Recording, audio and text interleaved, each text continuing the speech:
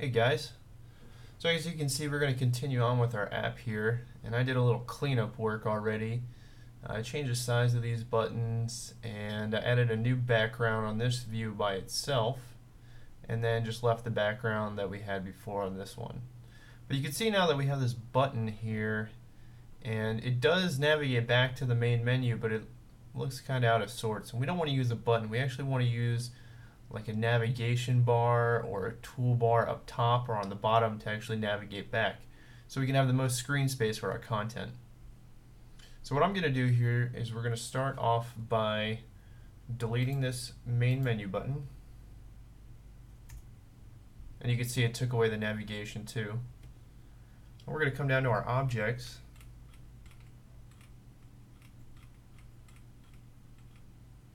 we could add a navigation bar, but I'm going to add a toolbar for this case. And we're going to slide that in at the top. Let's get it up top there. It down just a little bit. Okay.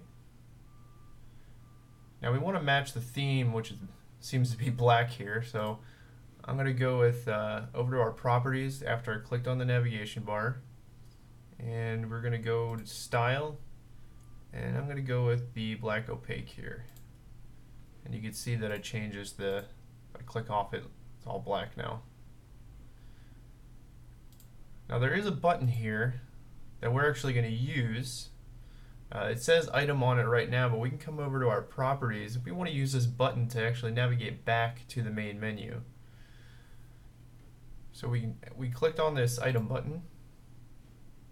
We're going to come over to the properties and where it says title, instead of item, we're going to call it main menu. Hit enter.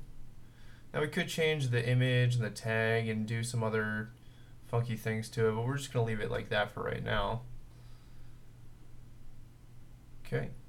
And then to link it, all we're going to do is hold down the control button click on the button and drag it over to the main menu. And when the action shows up again, we're going to click modal. Alright. Now I'm actually going to click on the action here. So it highlights the action.